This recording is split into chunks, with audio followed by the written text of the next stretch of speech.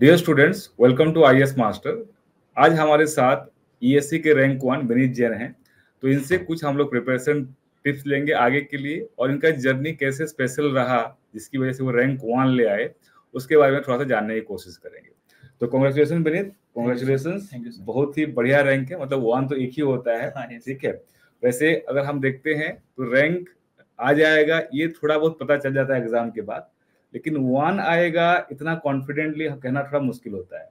तो मैं ये पॉइंट जानना चाह रहा हूँ जो आपको लगता है कि शायद आपको रैंक वन लाने में सबसे ज़्यादा जिसका हेल्प रहा होगा वो पॉइंट क्या है? सर आई थिंक मेरा जो प्रीलिम्स का स्कोर है वही मेरे लिए डिफरेंशिएट क्रिएट किया है क्योंकि इस बार okay. प्री की कट ऑफ़ काफ़ी कम गई है पर मेरे मार्क्स अराउंड 300 प्लस बन रहे हैं प्री में ओके तो आई थिंक वो मेजर डिफरेंस रहा है। हाँ तो जो प्री में आपने बहुत ज़्यादा एक्स्ट्रा मार्क्स स्कोर कर लिया है ठीक है उसको थोड़ा बाकी लोगों को लिए मेकअप करना डिफ़िकल्ट रहा होगा right yes so that might be one advantage तो प्री की तैयारी कुछ टाइप कुछ चीज़ों पे खास फोकस दिया था आपने? सर मैंने एक तो ओवरऑल सब्जेक्ट की कवरेज ध्यान रखी थी। मैंने okay. अगर टेक्निकल की बात करूँ तो कोई भी टॉपिक मैंने लीव नहीं किया था। और मैंने मल्टीपल रिविजन और पीवाईक्यूज मल्टीपल टाइम सॉल्व किए थे तो okay. ऐसे मैंने प्री की तैयारी कर थी और जीएस में सर मैंने जो सिविल के रिलेटेड मेजर सब्जेक्ट्स हैं जैसे environment project management ethics standard quality practices उनको ज़्यादा फोकस किया था। हाँ तो बेसिकली ये है कि सब्जेक्ट ईएससी में छोड़ना थोड़ा सा पॉसिबल नहीं होता। अगर हम सब्जेक्ट छोड़ते हैं कभी कभी हम लोग सोचते हैं कि कुछ कैलकुलेटेड रिस्क लेके कुछ सब्जेक्ट छोड़ दें बट कभी कभी क्या होता है कि जो सब्जेक्ट छोड़ा हुआ है उसमें से दस दस पंद्रह क्वेश्चन आ जाएँगे। हाँ, तो ये ध्यान रखना है बच्चों की सब्जेक्ट नहीं छोड़ेंगे हम लोग। कोशिश करेंगे कि कोई भी सब्जेक्ट ना छूटे। राइट लास्ट मोमेंट पर अगर नहीं हो पा रहा है तो एक आध सब्जेक्ट हम सोच सकते हैं बट उसमें फिर ये डर लगा रहता है कि शायद ये सब्जेक्ट अगर हमने छोड़ दिया और यहीं से ही क्वेश्चन चार पाँच आ गए तो फिर थोड़ा सा खराब होने की चांसेस होता है। इसी जीएस के बारे में और एक इंटरव्यू में हमने डिस्कस किया था अभी भी जैसे ये कह रहे हैं कि जीएस में जैसे हमारे पास टोटल दस सब्जेक्ट है राइट तो दस में से मुझे लगता है कुछ सब्जेक्ट ऐसे हैं जिसपे हमारा श्योरिटी थोड़ा सा ज़्यादा है। जैसे मैथ्स हो गया तुम्हारा हाँ ये तुम्हारे पास ड्राइंग हो गया प्रोजेक्ट मैनेजमेंट हो गया इसको पढ़ के इसका क्वेश्चन सॉल्व करना ज़्यादा पॉसिबल ज़्यादा इजी है rather than going for some subject जिसमें थोड़ा सा हमारा विथ का डिफाइंड अभी तक नहीं हो पाया है। उसमें कुछ कितना भी पढ़ लें फिर उसको उस पर क्वेश्चन बनेगा कि नहीं बनेगा और क्वेश्चन वो पढ़े हुए से आएगा कि नहीं आएगा वो भी कोई गारंटी नहीं है। तो विनीत के केस में विनीत का जो प्री का नंबर है काफ़ी अच्छा नंबर है और ये शायद एक इनके लिए एडेड एडवांटेज हो गया। वो तो फाइनली पता चलेगा जब नंबर आ जाएगा yes. कि हाँ किसमें कितना नंबर रहा। उसके बाद विनीत ऐसे कहा कि रिवीजन मैंने बहुत बार किया। तो ये टाइम कैसे मैनेज करते थे? कि मतलब इतना ज़्यादा नंबर ऑफ़ सब्जेक्ट जैसे अगर हम देखेंगे तो सिविल का सिलेबस काफ़ी बड़ा है। इतने ज़्यादा नंबर ऑफ़ सब्जेक्ट और उसको फिर मल्टीपल रिविजन इसको कैसे किया आपने? तो सर मैंने पहले तो ये ध्यान रखा कि मेरा सिलेबस कंप्लीट होने के बाद मैं रिवीजन ना करूँ मैं डेली अपना 20 टू 30 परसेंट टाइम रिवीजन को डिवोट करूँ। वेरी गुड तो वो मेरा स्टार्टिंग से ही जैसे मैंने तैयारी स्टार्ट करी थी तभी से मेरा रिवीजन स्टार्ट हो गया था। तो ऐसे मेरे को एक डेढ़ साल पूरा रिवाइज करने का भी टाइम मिला ना कि हम्म। सिर्फ़ मैंने लास्ट के एक दो महीने में रिवाइज किया तो बिल्कुल सही बिल्कुल सही। मल्टीपल रिवीजन देखो जैसे विनीत ने कहा ना कि ये नहीं वेट करना है कि मेरा एनवायरमेंट खत्म हो जाएगा उसके बाद मैं रिवाइज करूँगा। जब एनवायरमेंट खत्म होगा ना तब तक पहला दूसरा चैप्टर गायब हो चुका होगा। तो रिवीजन को लास्ट में नहीं रखना है कि सब्जेक्ट खत्म होने के बाद रिवीजन करना है। ये कंटिन्यूस प्रोसेस है। कभी कभी मैं बच्चों को ये भी सजेस्ट करता हूँ कि एक सब्जेक्ट को हमेशा मत रिवाइज करो। दो तीन सब्जेक्ट रिवाइज कर दो। उसमें थोड़ा सा ये चीज़ ये भी रहता है कि अगर हम जनरली रिवाइज कर रहे हैं तो हमेशा हम लोग चैप्टर वन से स्टार्ट करते हैं। hmm. लेकिन जब आपका पूरा सब्जेक्ट खत्म हो चुका है और आप रिवाइज कर रहे हो तो ज़रूरी नहीं चैप्टर वन से स्टार्ट करना है। जो एरिया कमज़ोर है वहाँ से पिक करो रिवाइज करना। ये भी सर मैं करता था। मैं मल्टीपल रिवीजन एक दिन में मल्टीपल सब्जेक्ट के रिवीजन करता था। जैसे के शुरू के तीन चैप्टर के लास्ट के थ्री चैप्टर वेरी गुड कभी बीच से उठा लिया तो इस तरह से मैं रिवाइज हाँ उससे क्या होता है कि हमारा हर जगह इक्वली स्ट्रांग हो जाता है। ये देखा होगा कि अगर हम कोई भी बुक पढ़ रहे हैं खास करके टेक्निकल बुक तो स्टार्ट से करेंगे। स्टार्ट में एंथू ज़्यादा रहता है एनर्जी ज़्यादा रहता है। ठीक है दूसरी बार भी स्टार्ट से कर रहे हैं तो दूसरी बार एंड से कर लो या बीस से कर लो तो इसको फॉलो करोगे तो थोड़ा सा फ़ायदा हो सकता है। बाकी टेस्ट सीरीज़ का क्या रखा था तुमने? टेस्ट सीरीज़ कितना फ्रिक्वेंटली दे रहे थे? सर मैं पार्ट टेस्ट कम देता था मैं मोस्टली फुल एंड टेस्ट ही देता था। Okay. तो जब मेरा पेपर से अराउंड में ट्राई करता था कि मेरा पेपर से अराउंड दो से तीन महीना पहले टेस्ट सीरीज़ स्टार्ट हो जाए ताकि मेरे को काफ़ी ज़्यादा टाइम मिले टेस्ट लगाने के लिए। ओके। okay. तो मैं अराउंड ईएससी की बात करूँ तो मैंने 20 से 25 फुल लेंथ टेस्ट पेपर तक दे दिए थे okay very good very good वो भी ऑफलाइन मोड में। Okay okay. ठीक है। मतलब वो जैसा एग्ज़ाम का मोड रहता है उसी हिसाब से हम टेस्ट देते हैं तो थोड़ा ज़्यादा वो फ़ायदेमंद रहता है। सब्जेक्टिव में विनीत जैसे हम देखते हैं कि हमारा जो कवरेज है वो तो है ही। ठीक जैसे खास करके कुछ सब्जेक्ट्स हैं फ्लूड हो गया सॉयल हो गया एनवायरमेंट हो गया आरसीसी हो गया बीएमसी हो गया। इन सब्जेक्ट का वेट भी बहुत ज़्यादा है और इससे क्वेश्चन भी बहुत ज़्यादा आता है। तो इनके लिए कोई स्पेशल प्रिपरेशन खास करके अगर मैं बात करूँ थियोरिटिकल सब्जेक्ट की जैसे एनवायरमेंट भी आ जाता है उसमें बिल्डिंग मटेरियल भी आ जाता है तो उसके क्वेश्चन आप लिख के प्रैक्टिस करते थे कि ऐसे देखते थे कि हाँ ये टाइप ऑफ़ सीमेंट्स के ऊपर क्वेश्चन है तो ये ऐसे ऐसे लिखूँगा उसको कैसे तैयारी किया?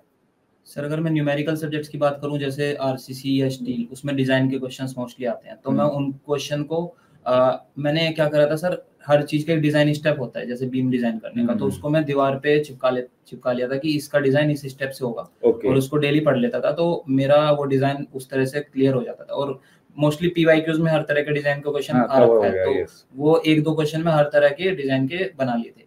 और सर थ्योरी के लिए मैं लिख के नहीं देखता था। मैं अपने मेरा एक्चुअली एक दोस्त है उसकी ट्वेंटी एट रैंक आई है सर तो okay. उसके साथ में मतलब ओवर कॉल हम डिस्कस कर लेते थे कि ये क्वेश्चन का most probable answer according to me and according to him क्या क्या, क्या होने वाला है? तो आ, वैसे मतलब जो मेरे को पता है वो भी हो जाएगा और जो उसको पता है वो भी मेरे को पता लग जाएगा। तो ऐसे मेरा थोड़ा नॉलेज उस थ्योरी टॉपिक के ऊपर समझ गया तो एक ग्रुप का आपको फ़ायदा हो गया कि हाँ दो लोग मिलकर पढ़ रहे हैं तो कुछ तुम्हारा नॉलेज आ गया जो तुम जो तुमसे पॉइंट छूट गया वो वहाँ से तुमने कवर हाँ, कर लिया राइट क्योंकि वो लिख के उसको कवर करना पॉसिबल नहीं है। तो कितना क्वेश्चन लिख बहुत सारे क्वेश्चन बिल्कुल बिल्कुल।